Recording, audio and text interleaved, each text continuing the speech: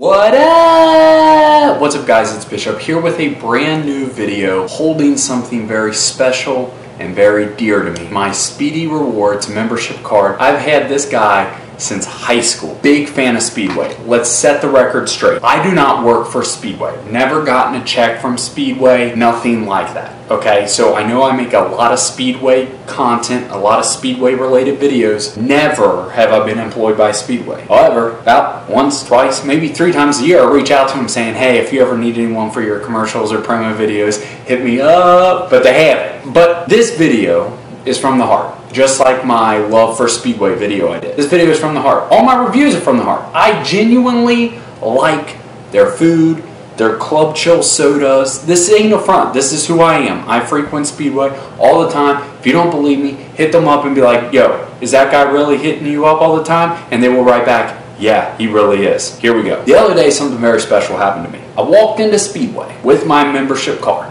which are free by the way. You can gather points and stuff, but they also have unique specialty clubs. What do I mean? They have clubs like the Pepsi Club, the Coca-Cola Club, the for Real Club, the Hot Off the Grill Club, many different clubs. I never was invited to be in clubs in high school or grade school. I know, pity me. Actually, I was on the academic team and the intramural bowling squad. Regardless, there was not a, hey, release a rap CD your sophomore year club. That club wasn't existing, okay? So, if there was, I would have been in that club. But anyway, the point I am making in this video is I walked into Speedway, had my credit card on me, didn't have any cash, but friends, it did not matter. What do I mean? Well, I walked in Speedway, I was hungry, so I grabbed me a donut. Then I thought, you know what, I need something to chase this donut down. So grab a real milkshake. Then I thought, well, I need something to counter that and chase that down. So grab a fountain drink. Then I knew I was going to cut grass, so I grab a Gatorade. Then I thought, you know what, better get the wife a Coke, grab a Coke. Then I thought, well, if I'm getting a Coke, I better get a Dew. So then I grab a Dew. So I'm walking up there with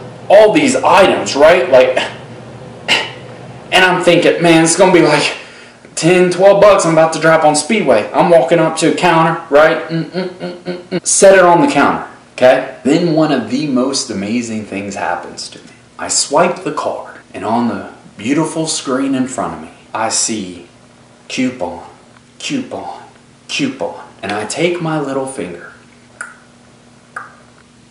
and I use my free coupons on every single one of those items taking the balance down to a beautiful zero dollars. And I walked out of there happy.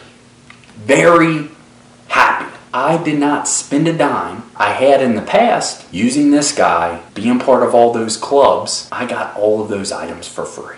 I'm just saying. You like 20 ounce Pepsi products or Mountain Dews, Cokes, you like fountain drinks, multiple varieties there you like roller grill items, you like donuts, you like for real milkshakes. They even have one for Lay's potato chips.